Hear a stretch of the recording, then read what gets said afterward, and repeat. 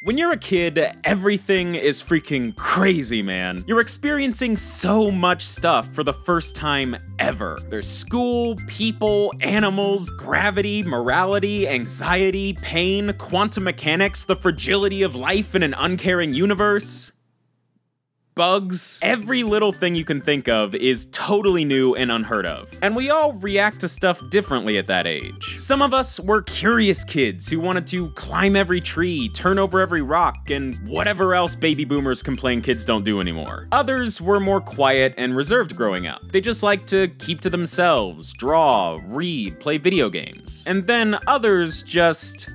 It cried. A lot. Yeah, that one was me. Wimp! You've probably seen other animated storytellers talk about how they were a weird kid, but I don't know if that fits me. Okay, that's a lie. My imaginary friend was a shape-shifting purple ferret named Benjamin, and one time I tried to make up a holiday about a paper platypus so that I could ask my parents for Yu-Gi-Oh cards. I was absolutely a weird kid. But in this video, I want to go in a different direction and tell some stories about how I, Foot of a Ferret, was a sensitive kid. Ow. My sensitivity showed itself in a lot of embarrassing ways growing up. Well, mainly two ways. Crying and trembling in fear. Seriously, I was really easy to scare growing up. But not in the, ooh, I'm gonna sneak up behind you and yell boo kind of way. More like the, I just saw something that has shaken me to my core and now I won't sleep for a week kind of way. Tons of stuff rendered me sleepless and terrified as a kid. Werewolves, zombies, TV shows, music videos, toys, t-shirts, Ernie from Sesame Street. I'm not kidding. One time as a kid, I was watching Sesame Street, and there was this bit where Bert and Ernie were exploring a pyramid. They found a statue that looked like Ernie dressed as a pharaoh, and when Ernie's back was turned, it would come to life and pull pranks on him. Sounds pretty silly and fun, right? Nope! Nah! They'd play this creepy music, and Ernie would be so scared he was basically shaking. And the statue just had this face and it just holds on this face. Even watching it now, it kind of freaks me out. And I was sat there watching this on a big TV, in the dark, alone, and I became so scared that I had to yell for someone to turn it off. I was too young to even know how to turn off the TV or change the channel. And for years, I couldn't even look at Ernie, which sucked because he was my favorite Muppet. But anytime I saw him after that, I just imagined that face. Uh, speaking of puppets, when I was in third grade, my family and I all went to Disney World! The ultimate dream for every kid. And I knew exactly what I wanted to do first. Let me go all Defunctland on you guys real quick. Back in 2004, a new attraction was introduced at the Magic Kingdom called Stitch's Great Escape. It was this big immersive experience where a bunch of people would be spectators to yeah, the focus of the show was a giant animatronic Stitch puppet in the center of the theater, which, in of itself, isn't that freaky.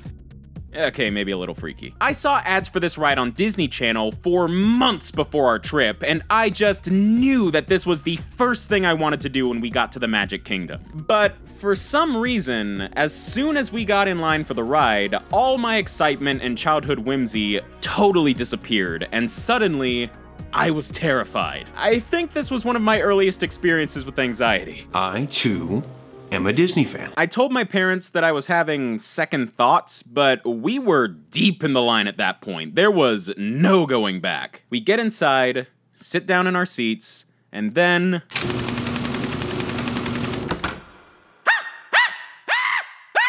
Okay, I didn't actually scream, but I was not ready for that giant otherworldly robot Stitch. It was way bigger than I thought it would be, and it towers over you. Luckily, I remember actually having a good time on the ride once I got settled in, but years later, I decided to do a little bit of research into the attraction, and Oh my god, did I get off easy as a kid. Before it got the Stitch makeover, the ride was called Alien Encounter, and just look at this! Pretty sure if Baby Fophy had gone on this ride, he would have died. So I made it through a children's theme park show unscathed. But unfortunately, that really anxious hesitation never really went away while I was at Disney. I feel kinda bad in retrospect, cause my dad didn't get to go on a handful of rides during the trip because I was too scared and he'd have to stay behind and look after me. You know, the happiest place on earth. Walk around terrified of everything and ruin the trip for your entire family. Book now at ah! www.ah.go. But when I wasn't getting scared by harmless media made specifically for people my age and younger, I was crying at well, everything. When I was in elementary school, I remember crying more than I remember anything I learned in class. Literally from day one, no, even before day one in school, I was crying. The very first time my parents brought me to school was for some kindergarten orientation day or whatever. I honestly didn't have a clue what was going on or why I was in this room full of other kids. But none of that really mattered because as soon as my parents left, I freaked out. I was terrified to be on my own, so. Eh, I bolted out the classroom door, ran down the hallway, bust through the school entrance, and just stood there, wondering where my mom and dad went.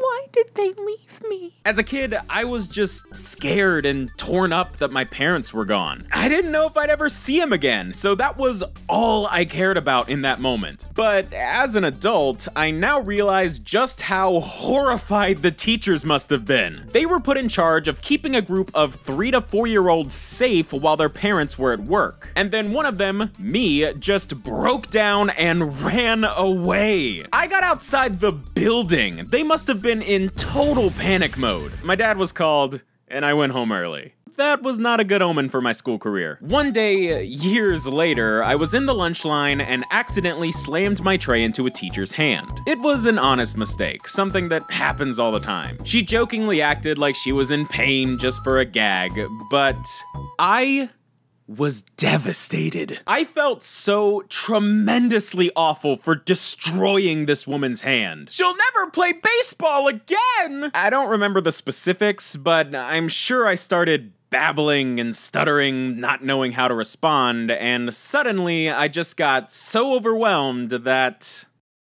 Eh, eyeballed, crumbled under my own guilt, and broke down in the middle of the lunch line. I sat down at the lunch table and started eating, still gross sobbing. when eventually I get called to the office. Oh, Lord, no. They're gonna expel me for shattering a teacher's hand. I'll end up on the streets. A delinquent. Living in a box and begging for change like Squidward did in that one episode of SpongeBob I saw last night. My future is gone! But when I got to the office, my dad was there to take me home. Yeah, apparently my little episode convinced the staff to call my parents and send me home early. They probably thought I was just super emotionally unstable or going through some rough stuff. But I wasn't, and hey, I got to leave school early, my dad took me for ice cream, and at the end of the day, I didn't actually do anything wrong. Sadness. It gets you out of school. Later that same year, I was in PE class. The teachers broke us up into groups, and we all had to take turns jumping rope. Now, uh, a fun fact about baby Fofi, I don't know why, but I never wore belts. I was a bit of a pudgy kid, so I guess I just never needed to. But on this particular day, I, uh, I really should have been wearing a belt. I was hiking my pants up all day. Annoying, but not really a problem. At that age, I was just in my own little world, never really thinking about others' opinion of me. I used to Naruto run in gym class because I thought it'd make me go faster. I had no shame in hiking my pants up every five seconds. But waiting in line for my turn at the jump rope suddenly caused the cogs to start turning in my head. Hands hold up pants, but need hands to hold jump rope. Oh, oh no. I knew what was about to happen. But instead of saying something to a teacher or doing literally anything at all, I just stood there, waiting, dreading what was about to happen. One kid takes their turn, then another, then another, and then I was up. You know, maybe I was just worrying for nothing. It's just jump rope. What could possibly go? The worst case scenario happened immediately, and I accidentally dropped Trow in the middle of the gym. I know I'm making this out like it was some big slow motion travesty and everyone pointed and laughed, but in reality, it all happened in like one second and I don't think anyone even noticed. But that didn't stop Lil Filthy from running to the corner and crying like a baby. The rest of the day is a total blur to me at this point, but I do remember a teacher had to pull me over in the next class because I was still so embarrassed and inconsolable. And keep in mind, no one even noticed that my pants fell. No one made fun of me, no one pointed it out, and heck, no one was even paying attention. But in my mind, that was the single most humiliating thing that could have ever happened to me. So I guess I was just crying because it happened and I couldn't take it. But all that, that was elementary school. By the time I moved up to middle school, I totally matured and grew out of it. Except for the time in sixth grade when I got a zero on my homework and broke down crying in class. Okay, that's enough about crying! Am I embarrassed of how overly sensitive I could be as a kid? Yeah, a little bit, I guess. But it was all so long ago that what's the point in sweating it? I've matured a lot since then, and at this point, all these embarrassing stories are just something to laugh at. I'm not that sensitive little kid anymore. Now I'm an adult who puts himself out there publicly on the internet for over 600,000 strangers.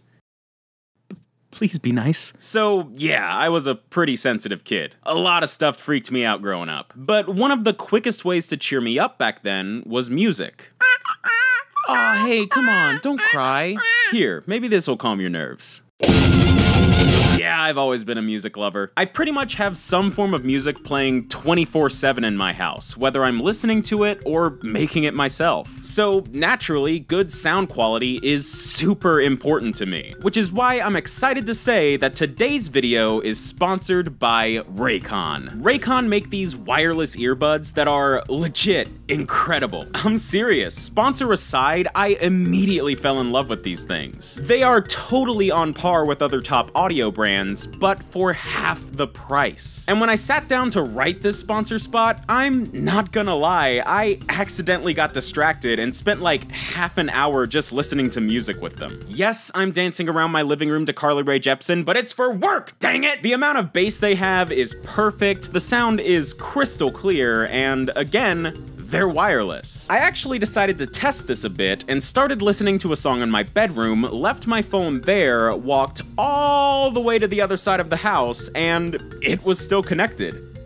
Wait, where's my phone? Bluetooth pairing is quick and simple. They hold a charge for five hours of listening time. That's enough to listen to Hamilton twice. They're totally compact, comfortable, noise isolating, and come in a ton of cool colors. Seriously, guys, I've been doing a lot of music composing and production work in my free time, and I cannot wait to start using these earbuds to listen to mixes. And I also can't wait for you guys to hear some of the stuff I've been working on. And if you want to make sure you hear it all in high quality, quality and high comfort, then you should absolutely consider picking up a pair of Raycon earbuds. And now's the time to do it too, because if you head down to the top link in my description or go to buyraycon.com slash ferret, you can snag a pair of these bad boys for 15% off. Again, that link is buyraycon.com slash ferret or the very top link in the description. Major thanks to Raycon for sponsoring, thanks to all of you guys for watching, and until next time,